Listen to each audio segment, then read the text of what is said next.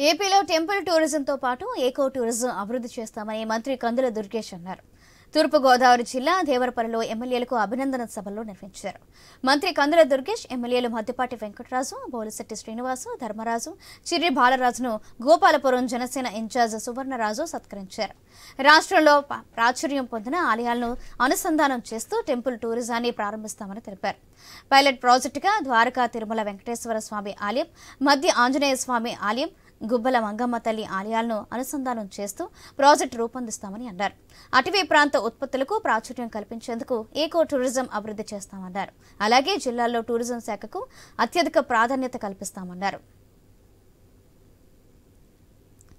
జంగారెడ్డిగూడెంలో ఒక సమావేశాన్ని ఏర్పాటు చేసి మెట్ట ప్రాంతాన్ని ఈ ప్రాంతాన్ని కలిపి ఒక టూరిజం సర్క్యూట్ ఏర్పాటు చేయడానికి ఏదైతే ద్వారకా తిరుమలలో ద్వారకా తిరుమలతో పాటు లక్ష్మీనరసింహస్వామి టెంపుల్ ఆ పక్కన ఉన్నటువంటి మధ్యాంజనేయ స్వామి టెంపుల్ గోపాలమ్మ టెంపుల్ ఇవన్నీ కలుపుకుంటూ వీటిని మనం టెంపుల్ టూరిజం అంటాం.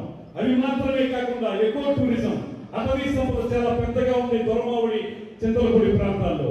ఆ అటవీ సంపదలో ఉన్నటువంటి మంచి మంచి మనం ప్రజలకి సందర్శకులకి అందరికీ కనిపించే విధంగా వాళ్ళందరూ వచ్చే విధంగా చేయడానికి అక్కడ రిసార్ట్స్ నిర్మించి అది కూడా ఒక పర్యాటక కేంద్రంగా అదే విధంగా జలపాతాలు ఉన్న చోట వాటిని కూడా సందర్శకులకు చూపించే విధంగా ఒక అద్భుతమైనటువంటి టూరిజం